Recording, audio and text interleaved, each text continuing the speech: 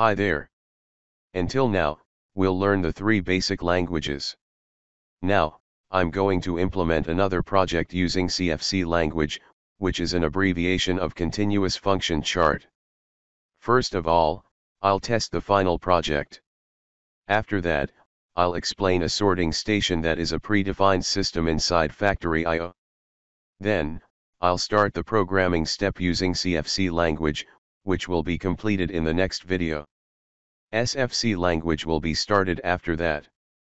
Before we get started with today's video, I just wanted to inform you about all the great content we have been releasing on the PLC Goods YouTube channel, which includes industrial automation PLC programming, HMI, and microcontroller-based developments. My name is Syed Reza, and if you enjoy this video, I would appreciate it if you could click the subscribe button as well as the notification bell, to receive the latest and the greatest content, I will be posting through the channel. Well, let's start the video by testing the final project. As you see, here is a control box. The selector has two modes, and can be used to select manual and automatic modes. When the manual mode is selected, the start push button can be used to run the entry conveyor. My manual program can be easily extended to control other pieces of equipment. Now, let's select the automatic mode and press the start push button, to start the sorting process. The most effective equipment in this project is this vision sensor. It sends a number from 1 to 6 to my controller, based on the color and shape of these products. Well, if I press the stop push button, the first conveyor will be stopped immediately, but the second part, after the vision sensor, will remain on about 15 seconds, to move the last product completely.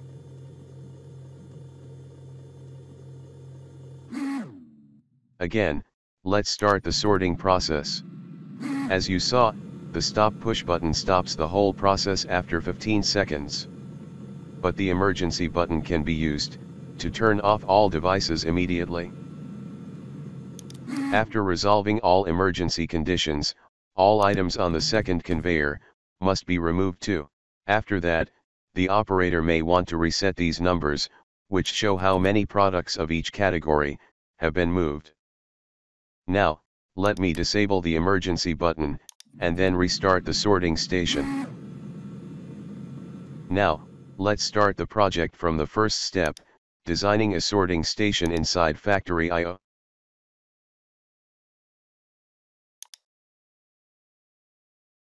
Alright, in this video, I've used a predefined project, whose name is Sorting Station. Similarly, you can find it and use it without any changes. Now, let me explain some of its equipment. As you see, the sorting station uses three pivot arm sorters. Each arm has two actuators. Let me activate them.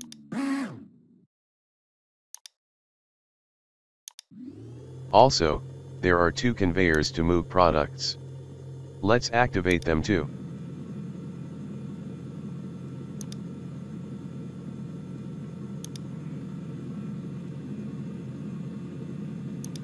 As I've mentioned, this vision sensor is the most important device in this project. When there is not any product below the sensor, it will send 0 to my controller, otherwise, based on the color and shape of the products, it will send a number from 1 to 6. Pay attention to numbers, which will be used to categorize the products into three groups, based on their shape.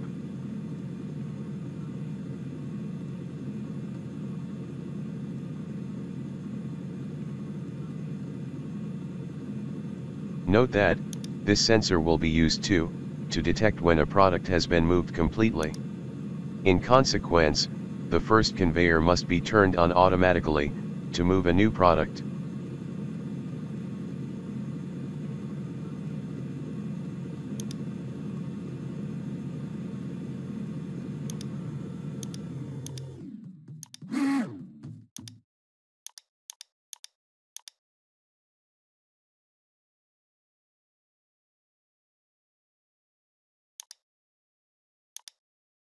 As you know, each push button, sensor, or actuator has a specific name which can be modified. Let's use the default name. Here, I can see the name of all sensors and push buttons, and on the other side, the name of actuators such as conveyors and sorter arms can be seen. Now, let's launch CodeSys to start the programming step. Let's create a new standard project.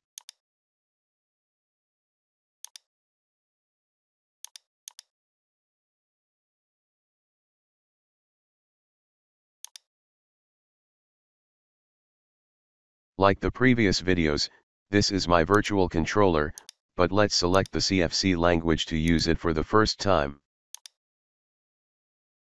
If you remember, during the previous project, a global variable list was explained and used. Again, let me create a global variable list. I will use that to define variables, which will be connected to the equipment inside Factory IO. First, let me define variables that will be connected to sensors, push buttons, and so on.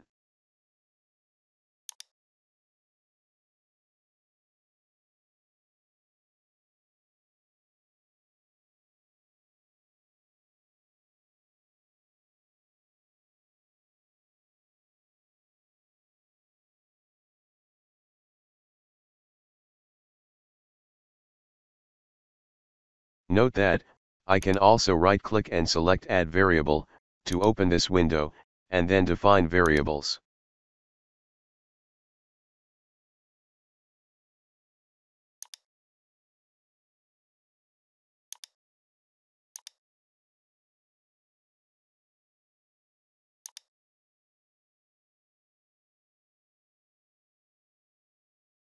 Now, I'm going to define variables, which will be used to control the actuators such as conveyors, sorter arms, and so on.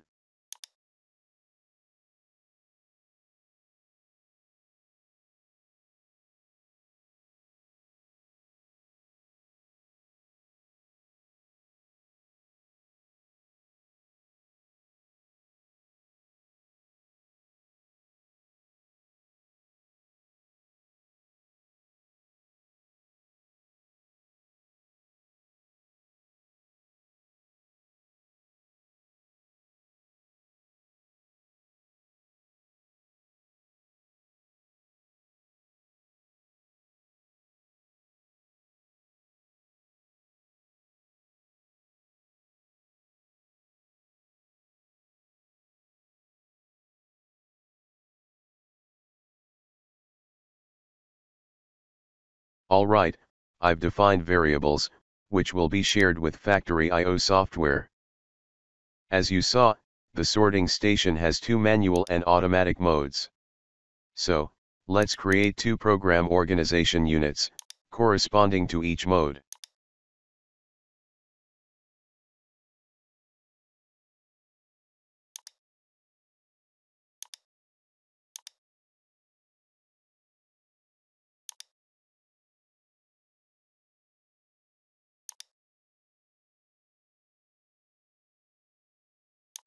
Right now, there are three program organization units. My controller will start his work from this one. As you see, it's empty. First, let's write a simple program to use the manual mode of the selector, to call the manual program organization unit.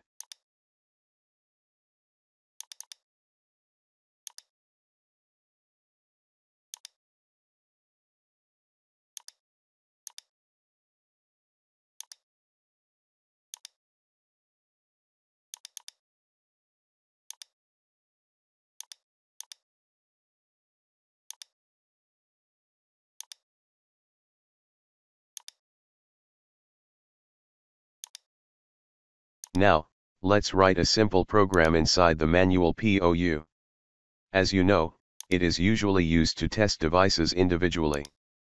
Now, I'm writing a simple program, just to control the first conveyor with the start push button. Similarly, my program can be used to control other devices manually.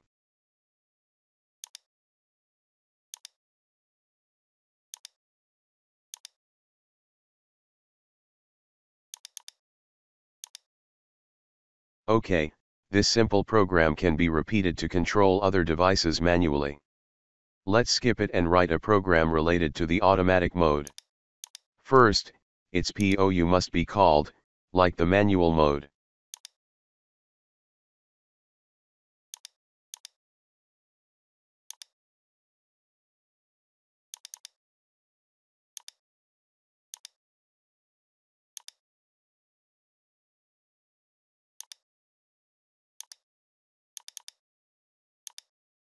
Now, if the auto mode is selected, this POU, whose name is auto, will be executed.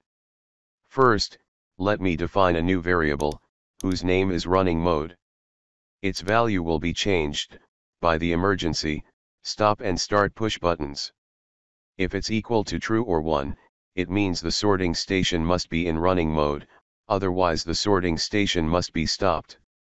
Because this variable determines an important state, and may be used by future program organization units, let me change its scope to global variable. Also, instead of using the FIO list, let me define it, inside a new global variable list.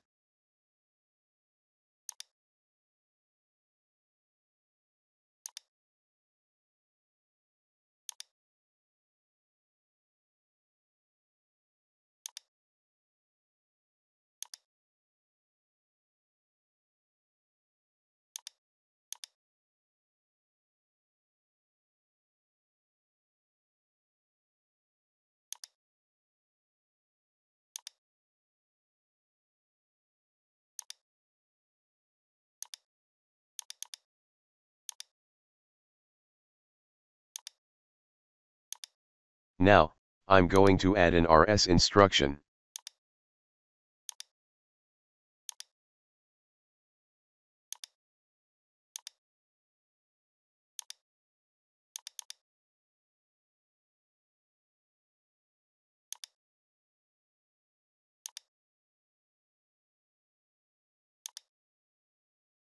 Now, I want to use the start, stop and emergency buttons, as three inputs to set and reset the running mode variable.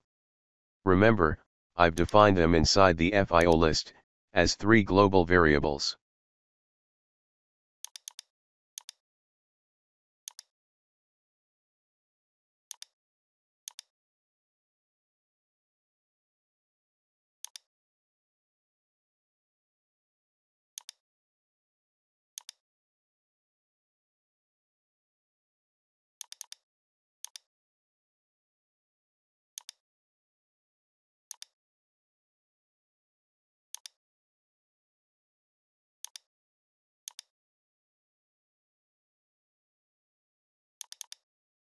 As you know, the stop and emergency buttons are normally closed. So, let me invert their states. Also, both of them can reset the running mode variable. So, an OR instruction must be used between these two inputs and the RS instruction.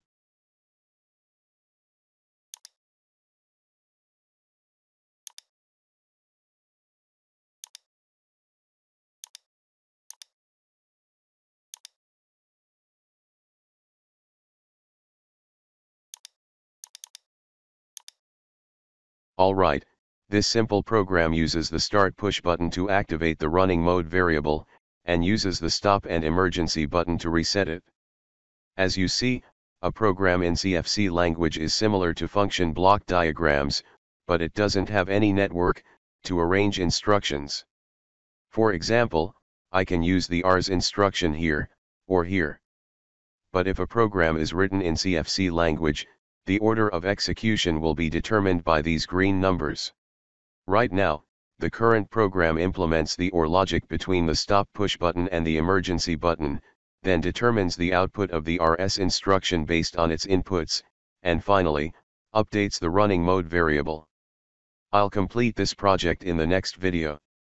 Thanks for watching my content, if you have any question on this topic make sure you leave them in the comment section below, and if you can spend a few seconds of your time liking as well as sharing this video, if you enjoyed it, that will mean a lot to me. If you have any suggestions for the channel such as what kind of hardware or software I should be covering, then make sure to leave that in the comment section. See you next time. Bye bye.